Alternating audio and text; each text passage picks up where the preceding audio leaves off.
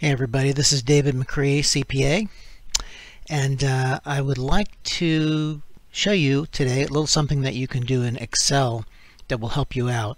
A lot of times, um, if you're working with a set of transactions, it could be just um, financial transactions from a bank statement, or it could be uh, a trial balance like I have here on the screen. And, and it, if you get it maybe from your accounting software and you export it to Excel, you may end up with something like this where you have your your debits in one column and your credits in another column and they're all expressed as positive numbers. Uh, this makes it hard to do operations with if you need to um, sort or if you need to put them into in some sort of a summary like uh, like I, I teach in my course on bookkeeping with Excel.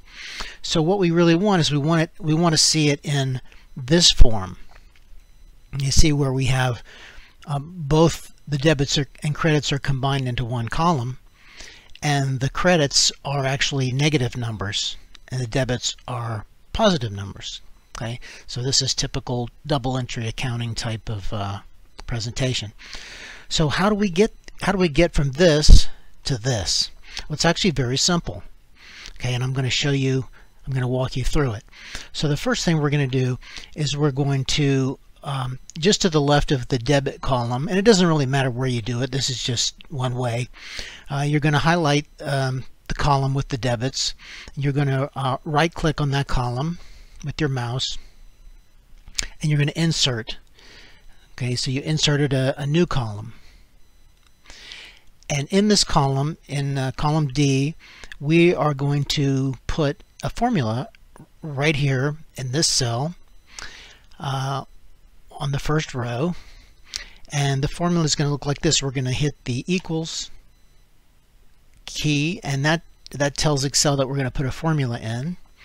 And uh, we're going to highlight uh, cell E4, so equals E4, and then we're going to hit the minus sign. Okay, so minus, and then we're going to click in the F4 cell, and then we're going to hit enter. So this is going to be, we're going to take whatever is in E4 and subtract F4.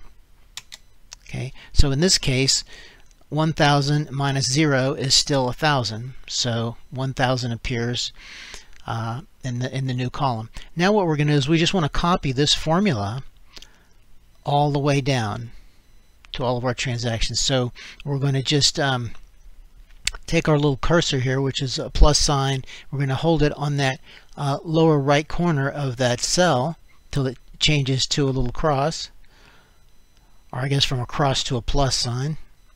And then we're going to left click and then just drag that formula down. You could also copy and paste, that would be fine. So now what you're seeing in the new column is we have our debits and credits all appear in the same column and the credits are negative and that's exactly what we wanted.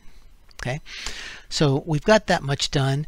The only problem is these, um, if you look up here, this is this displays what's in the cell. These are all still formulas okay and they're referencing um, these the cells in these two columns. Well we don't want them to be formulas. We just want them to be um, values. Okay?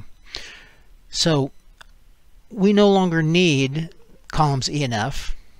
So what we're going to do is we're going to highlight our new column. We're going to right click on it and we're going to click on copy Okay, and what we're going to do is we're going to paste it right over our debit column. Uh, but we're going to paste it in a special way. Okay, so we're going to highlight where we're going to paste it, the debit column. We're going to right click on the, that column, and then we're going to come down here to paste special. See that? Paste special. So we're going to left click on that to choose that. And then here under paste we're going to click values okay because what all we want to paste are the values. We don't want the formulas to get pasted. So now we're going to click OK. All right. So now this is this is what we want here. We don't need this column anymore.